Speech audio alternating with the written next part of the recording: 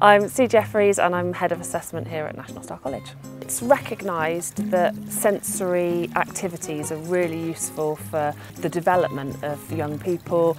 So we decided that we could really do with having some additional space and some additional activities for people to be able to access maybe in the evenings and weekends.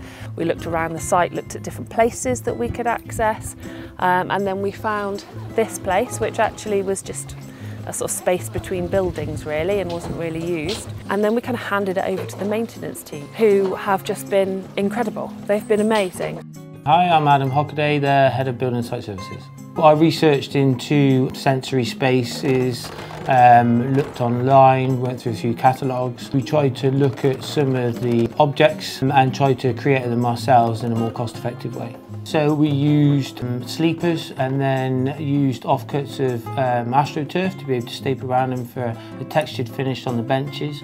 We reused a water feature and we actually reused a mirror, bubble mirror that we got from Lake House and then went to B&Q and just went down the aisle and picked up as many fiddly things as we could that I thought the students might like. My name is Suzanne Pollard, I'm the Occupational Therapy Manager at National Star and one of my specialist areas of interest is sensory integration. Many of the students at National Star have sensory integration difficulties which are really complex. Neuroscience currently recognises that our seven senses that help us to process information about our bodies and make sense of the world in which we live. If students have difficulties integrating their sensory systems, then we may see them struggling with development in all areas.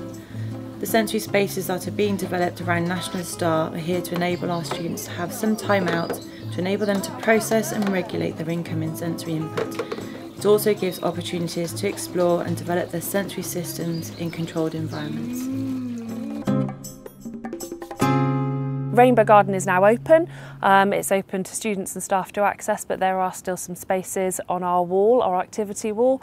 Um, and so there's an opportunity there to fill up those spaces with some more sensory activities for our students. So if anybody's got any ideas about what we might put up there, um, what our students might um, benefit from, then if you can send your suggestions, that would be great.